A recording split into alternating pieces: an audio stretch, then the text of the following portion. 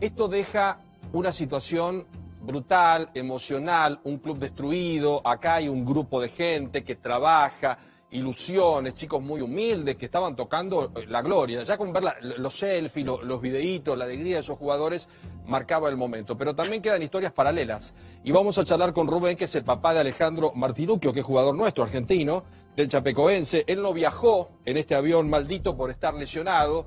Me imagino que en algún momento, como todos los lesionados, habrán dicho, justo me toca esta lesión cuando jugamos lo más importante de nuestra vida y Dios o alguien dispuso que hoy esté con vida Alejandro. Rubén, un gusto saludarlo. Gracias por atendernos y buenas noches en, un momento brutal.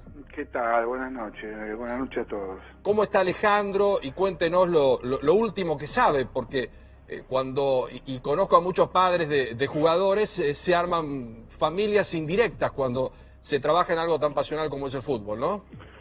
Sí, acabo, hablé a eso de las, de las nueve más o menos. Él estuvo todo el día en el club. Sí. Eh, ya de la mañana temprano. Eh, algo que, era imposible de creer. Imposible de creer. Eh, con, en el club, mi nuera con, la, con las esposas de los jugadores. Claro. Un drama, un drama que la verdad a uno lo ponen a prueba, ¿no? Seguro. Lamentablemente, lamentablemente se le fueron la mayoría de sus amigos, porque el club quedó con, creo que con cinco jugadores. Sí, sí, sí, exactamente. a lo mejor en la parte económica, con ayuda se podrá salir, pero la parte psicológica eh, va a ser muy difícil. sí, yo, yo hoy contaba eso con mis compañeros eh, en Radio La Red, con Gustavo López y mis compañeros que hacemos fútbol desde hace muchísimo tiempo, decía, ¿cómo te repones de lo psicológico? Porque acá, en algún momento, Alejandro, su hijo, va a decir, ¿cómo me salvé? O, el, el, hijo del técnico que se olvidó el pasaporte, o esas historias tan particulares. Pero ¿cómo sigue esto, no? Yo estuve hace 10 días más o menos allá porque cumplieron, festejó el cumpleaños de dos de sus hijos. Claro. Alquiló un salón, fuimos los abuelos y estaban todos los jugadores con sus esposas y sus hijos.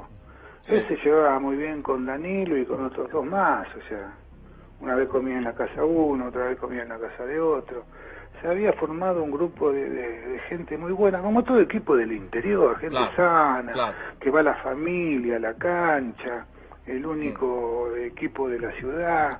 Además, Rubén, con algo, algo especial, ¿no? Porque todas las muertes son iguales, de dolorosas, de dramáticas y de injustas, pero acá, por lo que nosotros veíamos, y como le tocó jugar contra Argentinos, contra Independiente, contra San Lorenzo, un grupo de, chicos que no estaban acostumbrados a, a, codiarse con estos momentos brillantes de ir a jugar una final de, Copa como era lo que ellos iban a hacer, porque se subieron al avión para ir a buscar ese objetivo, ¿no? No, eh, fue un equipo que fue creciendo de a poco, fíjate que vos que conoces de fútbol no había, o sea, no dependían de un jugador o de dos jugadores eh, era un equipo que salía a la cancha y sabía qué tenía que hacer, sabían que, que las condiciones no eran de las mejores, pero salían con un esquema, con algo ya predispuesto a hacer adentro de la cancha.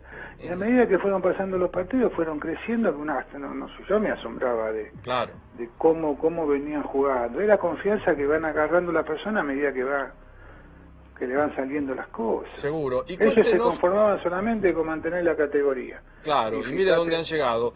Eh, cuéntenos cómo fue lo de Alejandro, porque yo digo siempre que la familia en, el fútbol es un sostén, y Alejandro justo se lesionó. Hoy Alejandro, cuando, cuando mire para atrás, va a bendecir esa lesión porque está vivo. Pero me imagino que habrá sido duro para él porque lo excluyó de un momento que iba a ser extraordinario si él estaba sano. Sí, pero él eh, a veces eh, prefiere ir con calma, no apurarse, porque uno cuando se apura con las lesiones después eh, es peor, ¿no? Porque se complican más las cosas. Allá en el club lo, lo quieren mucho, lo aprecian mucho, tienen un buen concepto de él y dicen, no, no, no, vos, vos cuidate, tranquilízate que te queremos bien para el año que viene, queremos que estés 10 puntos. Y cuéntenos, Rubén, ¿cómo, ¿cómo es el club? Porque lo, sentimos como algo muy familiar. Aquí en la Argentina mucho le costaba en algún momento cuando le tocó, insisto, con Independiente San Lorenzo, nombrarlo, porque dice, qué difícil, el Chapecoense. en algún momento también aparecieron otros equipos menores que se metieron con mucha fuerza entre, entre los mejores presupuestos. ¿Cómo es ese club? ¿Qué vida tiene? ¿Familiar, social? una vida, ¿cómo, ¿cómo te puedo decir? ¿Viste la época de antes de Ferro, de Vélez?